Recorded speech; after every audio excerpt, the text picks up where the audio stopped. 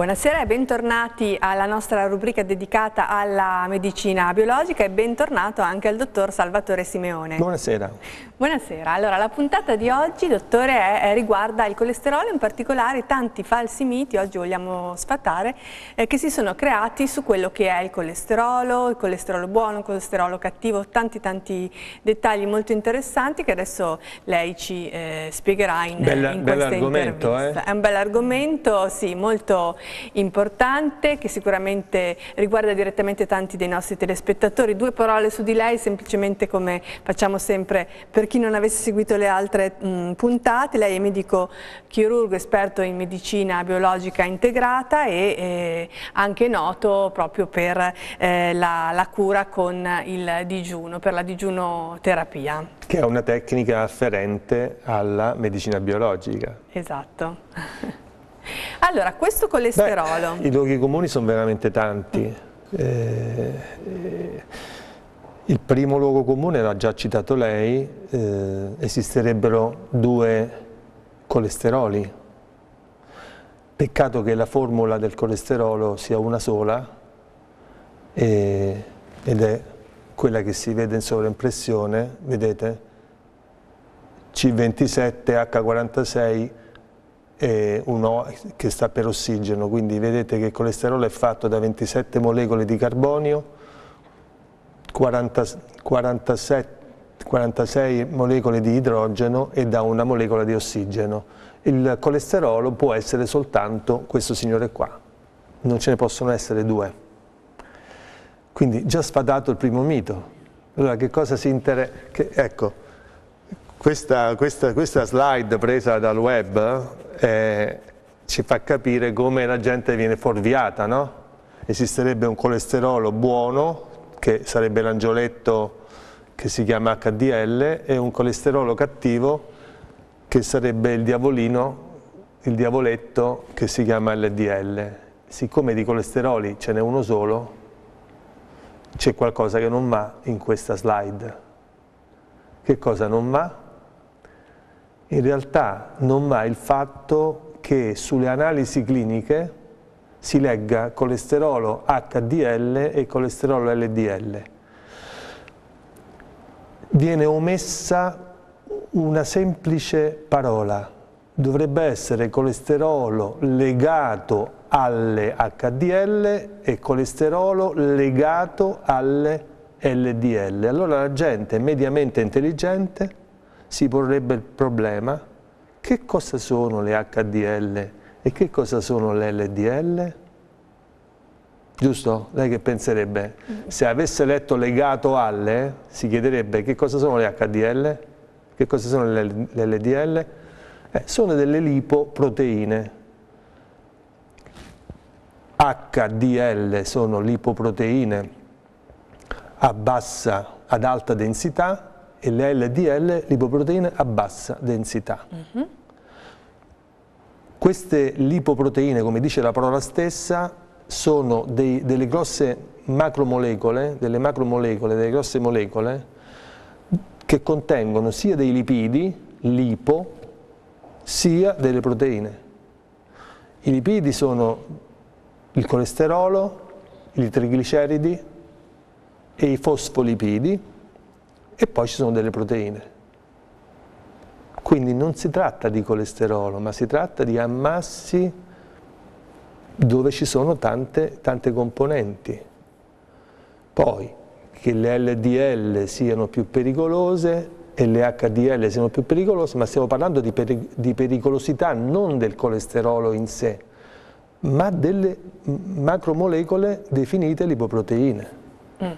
Quindi poverello, il colesterolo già l'abbiamo un po' salvato, no? perché la gente pensa che sia colesterolo, HDL è colesterolo buono e LDL è quello cattivo, non è così. Ecco, lei che mi racconta se si mettesse nei panni del paziente che ha capito adesso che c'è qualcosa che non va? Lei come utente, che, che le verrebbe da dire? Eh, intanto vorrei capire perché uno viene poi in semplicisticamente definito buono e l'altro cattivo, no? Eh... Beh, È una questione legata a, a, alle, alle, percentuali mm -hmm. del, della macromolecola, no? E quindi eh, per conto mio, per conto mio eh, quello, che quello che fa veramente la differenza è la quantità di assunzione delle proteine animali. Poi la gente fa tanta differenza anche tra proteine e grassi, ma spessissimo quando si parla di proteine animali o di grassi animali è sempre un miscuglio tra proteine e grassi. Prendiamo il parmigiano. Che cos'è il parmigiano? È un grasso o una proteina? Mi sta intervistando? Eh sì, per forza, Abbiamo... devo, girare, devo, girare, la frittata. Eh, no, no, è una domanda retorica, perché, eh, una, era una domanda ovviamente ovvia perché tutti sanno la risposta. Il, il parmigiano contiene grandi quantità di proteina di proteine e grandi quantità di grassi. Quindi spessissimo noi mangiando, dice proteine animali, mangiamo anche tanti grassi animali, perché è tutto insieme. Quindi eh, quelle proteine LDL, eh, quelle che si definiscono le lipoproteine cattive, sono in genere eh, fatte risalire a, a, un, a, a un'alimentazione scorrettissima, eccesso e abuso di, di prodotti animali, di proteine, di, di proteine grassi animali, questo è il concetto di fondo. Poi un'altra cosa che ci tenevo a dire e che pochi sanno è che la parte endogena del colesterolo, cioè quanto ne produciamo noi, è tra il 70 e l'80%. Mm. Non ce lo dobbiamo non dimenticare questo. Mm. Non ce lo dobbiamo dimenticare, no? Tanta gente dice, ma io non mangio questo, ma io mm. non mangio questo, non mangio... come faccio ad avere il colesterolo alto? Allora si capisce che l'origine è un'altra. Che l'origine è un'altra. E si comincia a capire che il colesterolo ha anche una valenza antiossidante di protezione del corpo. Perché il colesterolo è una molecola di importanza fondamentale per il nostro organismo. Ehm, il concetto dell'ossidazione corporea, quindi radicali liberi, eccetera, no? noi, siamo, noi, dobbiamo difenderci da questa produzione abnorme di, di radicali liberi che sono come, delle, come dei colpi di pistola che, che le cellule sparano all'improvviso, continuamente tutto il giorno e che se sono tanti possono ossidare il nostro corpo. Ossidare significa invecchiare, no? E quindi c'è necessità da parte dell'organismo di, di eh, trovare soluzioni antiossidanti, di mantenersi non ossidati. C'è il cosiddetto pool degli antiossidanti che è fatto da, da, da, da fattori tipo l'ubichinone, il coenzima A, eccetera, eccetera. Eh, e, e dalle vitamine. Noi ci difendiamo in prima istanza dall'ossidazione corporea con, con queste sostanze qui. Quando non bastano entra in campo anche il colesterolo. Mm. Quindi il colesterolo delle persone che non mangiano grassi animali, non mangiano proteine animali, che fanno una vita sana, eccetera, e hanno il colesterolo alto, ha questo significato, questo significato qui. Ecco, questi sono i benefici del colesterolo, eh, alcuni dei benefici del colesterolo, se, se, se, se si legge in sovraimpressione, è, una, è, un costituente fondamentale innanzitutto delle membrane cellulari, eh, ha un'azione altamente antiossidante e antiradicali liberi, l'abbiamo appena detto, è un precursore della, della vitamina D, è un precursore degli acidi biliari, è un precursore degli vari ormoni, in primis gli ormoni steroidei e sessuali, testosterone, estrogene, progesterone, eccetera, è fondamentale per la corretta formazione del feto nel, del, nel grembo materno, è di fondamentale importanza per il nostro cervello, che ne richiede una quota pari al 25% per garantire la sua efficienza. Noi possiamo demonizzare questa molecola? No, siamo, siamo nel mondo della medicina biologica, no? Noi siamo, stiamo parlando di medicina biologica. Se il Padre Eterno ha fatto questa molecola, un motivo ci sarà. Quindi si devono preoccupare sicuramente di più quelli che hanno una quantità di colesterolo alto per colpa dello stile di vita e quindi quando è quello esogeno che è alto. Mm Quindi se è una peculiarità male. della persona, in realtà non rappresenta una fonte di rischio. No, rappresenta una fonte di rischio, ma non in quanto molecola del colesterolo. Mm. In quelli che ce l'hanno alto pur senza mangiare male, mm.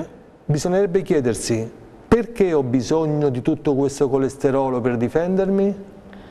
Ho capito, quindi può essere in atto un'infiammazione. Un'infiammazione, può essere in atto un, uno stato di, ehm, di, di, di, eccessiva ossidazione corporea, no? Tanti mm -hmm. radicali liberi, come dicevo prima. Per, perciò il colesterolo bisogna... Una curiosità, dottor Simeone, c'è anche chi ha il colesterolo più basso di quello che viene indicato come il minimo. eh, quelli, quelli non stanno tanto bene. Ah. Cioè, non va bene neanche questo. Deve... Di solito però nella medicina tradizionale, visto che oggi parliamo di medicina biologica, definisco diciamo quella più conosciuta in questo modo. Sai come la chiamano in, in, Germania? Mm. School medicine, medicina scolastica. Noi dovremmo usare anche noi questo, questo tipo termine. di termine. Mm. La medicina scolastica è quella medicina che ti hanno insegnato nell'arco dei 6-7 anni di scuola che hai fatto all'università, tu ti laurei e sei un medico scolastico, nel senso che hai fatto la scuola e poi vero medico si diventa dopo.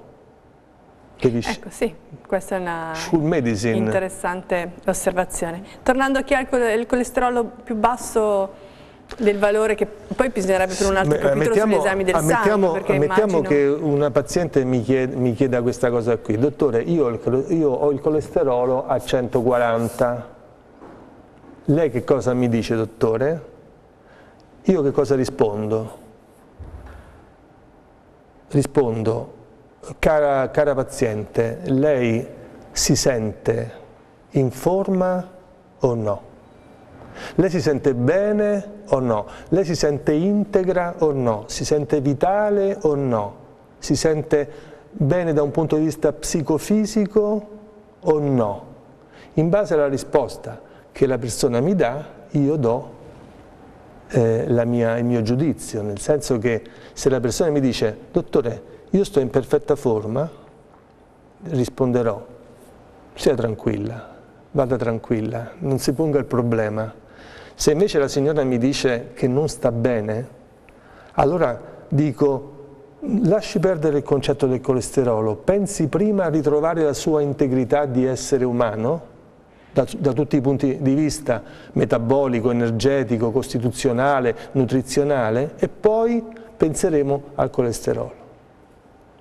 Non so se sono stato un po'... Sì, sì, certo, è un concetto che ha già espresso diverse volte nella Però rubrica. Non è mai, è non è mai è sempre bene ripeterlo. Ripeterlo, sì. Allora, volevamo sfatare dei miti sul colesterolo, oggi abbiamo già iniziato con una serie di cose, le chiedo, la placca di colesterolo. Allora, il primo mito, il primo falso mito è che ce ne sono due e l'abbiamo sfatato. La placca di colesterolo sarebbe, eh, eh, dunque la placca di, di colesterolo che è quella cosa che è pericolosissima che manda a quell'altro mondo tanta gente perché chiuderebbe le nostre arterie, no? Ecco, la placca di colesterolo innanzitutto non è fatta di colesterolo, ma è fatta di eh, lipoproteine, dicevamo prima, no? Mm-hmm. -huh. Quindi, intanto sfatiamo che la placca sia fatta di colesterolo, perché la placca è, è fatta proprio da quelle macromolecole di cui abbiamo parlato prima, sì. di lipoproteine. Secondo mito sfatato, la placca non è di colesterolo, ma di lipoproteine. Terzo mito sfatato è che la placca non si attacca alle pareti delle arterie, perché non si può attaccare alle pareti delle arterie, perché le pareti delle arterie sono estremamente fluide, estremamente viscose, basta toccarsi con la lingua la guancia interna per capire come è fatta un'arteria dentro e qui di sicuro non possiamo attaccarci niente, men che meno dei grassi e, e quindi la placca si crea nello spessore della parete dell'arteria, non si attacca alla parete. Qui è molto chiaro, vedete dove c'è il giallo, ecco se si può mettere in pressione un po', ecco dove c'è il giallo, quella è la placca, vedete che non è attaccata alla parete delle arterie, ma si forma dentro la parete dell'arteria. La parete dell'arteria è fatta da tre tuniche, una si chiama esterna, una media e una interna. Tra l'interna e la media si addensano, si assommano tutte queste sostanze di cui parlavamo prima, grassi, eh, proteine, le lipoproteine, e lì piano piano, mese per mese, anno per anno, si va a formare questo agglomerato che noi chiamiamo ateroma, che è la placca, e che quindi non è attaccata alle pareti dell'arteria. Terzo mito sfatato. Soltanto che questi miti qui, questi falsi miti, stanno rovinando la salute a tanta gente, perché se si parte da paradigmi sbagliati o inventati ad arte, poi dopo si va a finire male. Tant'è vero che la percentuale di persone che si ammalano sull'apparato cardiovascolare aumenta sempre di più, nonostante tutti i fantastiliardi di miliardi di dollari spesi per la ricerca negli ultimi 60-80 anni. Allora ci dovremmo fare una domanda, ma come mai più si studia e più ci si ammala? Perché, perché il punto di partenza è sbagliato si fa la guerra al colesterolo, ma non è quello il problema. E quindi in pratica mh, mm, non basta occuparsi dell'alimentazione, giusto? È questo che L'alimentazione quando è eccessivamente mh, mh, portata eh, da, verso eh, grassi e proteine animali è un'alimentazione completamente sbagliata. Su questo No, diciamo che in parte quindi l'alimentazione conta, mm. eh, però non è solo questo, non è solo questo. Quindi chi soffre di eh, problemi eh, che lui considera legato al colesterolo, comunque chi ha degli esami... Dovrebbe farsi la domanda, ma questo colesterolo lo produco io oppure lo mangio o tutte e due? Mm, ok, quindi questo è una... Il è una medico dovrebbe essere in grado di indicare uno stile di vita ideale per quella persona dopo aver, aver capito che cos'è che non va. E questo sta al dottore, non sta al paziente. Il paziente è paziente, deve pazientare. E quindi, soltanto che adesso che si fa? Il medico non risale più alle catene causali, Oggi non si risale, non si fa medicina causale, non si risale alle catene causali. Da dove viene il problema? Oggi si dà una pillola. Eh certo, infatti la medicina scolastica, come la, diceva, la definiva lei prima, è spesso una medicina sintomatica che si occupa del sintomo, che cerca di far regredire il sintomo, però può succedere a volte quando si ha questo tipo di approccio che il sintomo regredisce e poi il problema salta fuori in un'altra forma. Esatto, esatto. Ecco, questa poi di solito ne parlavamo nell'introduzione, adesso potremmo fare invece una considerazione finale, è proprio l'importanza della medicina biologica che poi è quella che trattiamo Uno dei capisaldi della medicina biologica è rubrica. di saper risalire alle catene causali. Se tu non risali alle catene causali non potrai mai curare in modo causale il paziente. Dovrai ricorrere a una, a una pillola sintomatica e questo riguarda tutte le, esatto. tutte le, malattie. Infatti riguarda il colesterolo di cui ho le lipoproteine, o insomma l'argomento di cui abbiamo trattato oggi, riguarda la tiroide che è l'argomento della puntata precedente, riguarda, riguarda, riguarda il diabete tutto. 2 eh, che è un'altra tragedia mondiale o forse anche universale, non si, sappiamo se gli extraterrestri hanno il diabete, però potrebbero averlo anche loro ed è una tragedia veramente universale perché il diabete 2 si cura con una certa facilità facendo leva sull'intelligenza del paziente, sulla sua disponibilità a cambiare delle carte in tavola, il, paziente, il diabete 2 si cura con lo stile di vita, non, non dando delle pasticche, cioè le pasticche le dai nel momento in cui il paziente non collabora più, non ha mai collaborato, allora dice vabbè, allora ti tocca prendere la pastiglia per tutta la vita. Stessa cosa per l'ipotiroideo, lì, lì, deve, lì deve cambiare lo stile di vita e si guarisce facilmente, ma se il paziente non collabora sarà costretto a prendere la pasticchina tutta la vita. Tra l'altro riguarda un altro, chiamiamolo fenomeno, che non è una malattia ma che riguarda tutti e che eh, può essere eh, affrontata nel migliore dei modi, che è quello del naturale invecchiamento. In realtà si può invecchiare bene o invecchiare male. Non parleremo anche di questo proprio questa, approfonditamente questa, in una eh, puntata? Beh, assolutamente sì, perché questa è la cosa a cui tengo di più. Eh, l'arte di non invecchiare mai, né, né di fisico e né di testa. È bellissimo. Cosa, una delle cose che come medico mi dà è anche come medico mi dà più fastidio è vedere le persone, come persone e come medico, è vedere le persone che piano piano, giorno per giorno, impercettibilmente invecchiano e l'energia vitale piano piano scende e la gente invecchia male, aiutati anche dalle tante medicine che prendono. Ci sono, ci sono persone che prendono 4, 5, 6, 7, 8, 10 farmaci al giorno e c'è un, un, effetto collaterale che sul bugiardino non è scritto. Perdita giornaliera di energia vitale. Non c'è scritto. Però la gente, ed è tristissimo vedere queste persone anziane che piano piano vanno giù. Io vorrei, io vorrei, vorrei fare qualcosa di... Nel mio piccolo cerco di invertire la rotta della vecchiaia, eh, perché si può fare. Ci racconterà come in una prossima puntata. Grazie dottor Salvatore Simeone. Grazie a voi. Grazie ai nostri telespettatori, ci rivediamo presto.